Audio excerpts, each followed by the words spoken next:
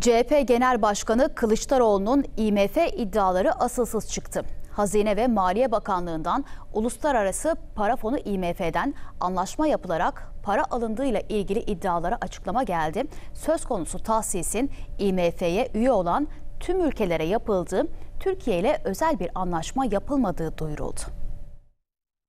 IMF'den para almışız. 6,5 milyar da IMF'den gelecek. Getirmişiz. Merkez Bankası'nın kasasına koymuşuz. Başkasından almışız kendi kasamıza koymuşuz. Eyvallah.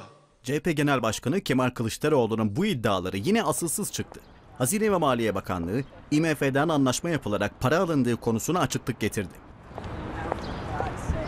Bakanlık Twitter hesabından yaptığı açıklamada IMF ile anlaşma yapıldığı ve karşılığında para alınacağı iddialarını yalanladı. SDR yani geri çekme tahsisatının uluslararası para fonuna üye olan her ülkeye kota payları oranında yapıldığı duyuruldu. Açıklamada IMF'nin 190 üye ülkeye SDR tahsis ettiği belirtildi. Türkiye'nin de 0.98 sermaye payı nedeniyle 6.3 milyar dolarlık para aldığı ve bu tahsisin koşulsuz gerçekleştirildiğinin altı çizildi. Bakanlık IMF'den gelen 6.3 milyar dolara ilişkin IMF'nin tüm üye ülkelere para aktardığını ve IMF ile Türkiye arasında özel bir anlaşma olmadığını belirtti.